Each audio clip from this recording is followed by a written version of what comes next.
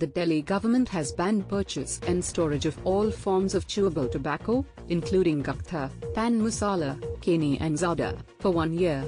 The Department of Food Safety issued a notification in this regard on Wednesday. Since the term gutka was used, tobacco retailers started selling the components of gutka, betel nut and raw tobacco, in separate pouches, thus defeating the purpose behind the ban on gutka.